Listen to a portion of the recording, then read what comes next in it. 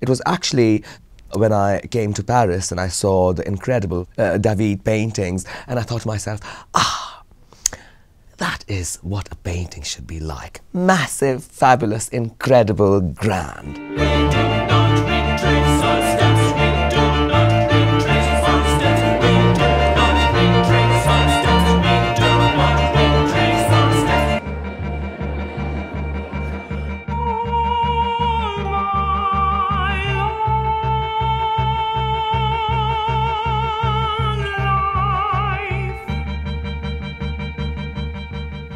I wanted to make a body of work that uh, would be sort of my exploration and my experimentation with empire style.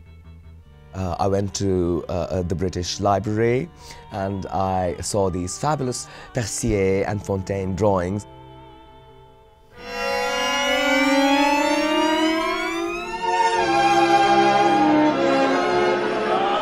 The show is called Of Beasts and Super Beasts, which is a book by Saki. And I love the way he played around with, with Edwardian society. And at the same time, there's that element of uh, joking with mortality and taking death in a very, very humorous way. And I think people take things way too seriously, forgetting that uh, uh, it's quite a privilege to be here. The whole show is a lot about metaphorical uh, uh, beasts uh, uh, that, that we actually are, and it is, in a way, satire uh, about society.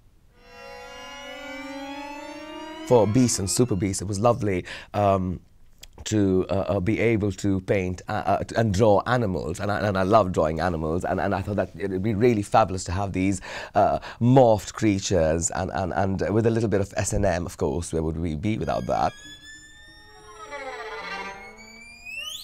I think that uh, the work is using me for it to be made and in a way that I'm serving it and, and, and uh, uh, as opposed to, oh, you know, what am I going to paint today? It, it, it's, it's not like that at all. When I start something, I let the work decide where it wants to go.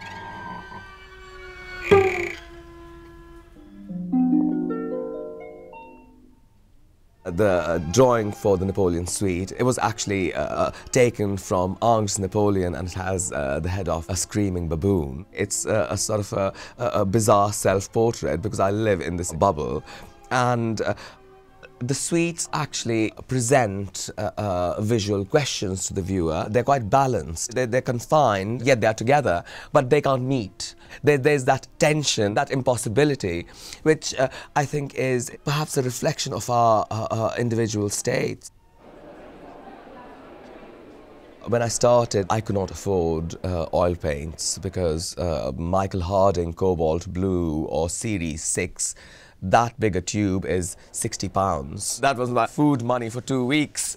So I went to the local hardware shop on Shaftesbury Avenue and, and I got the cheapest uh, interior decorator paints. And I experimented seeing how uh, materials react with each other. And over years, it just became more and more resolved. It would be fair to say that uh, the show at the Ropac Gallery is 13 years of working and concentrating in a certain way. When you start off as an artist, when you're very, very insecure, you need to be inspired. Now, if my work ever can inspire people, I think uh, my job on earth is done.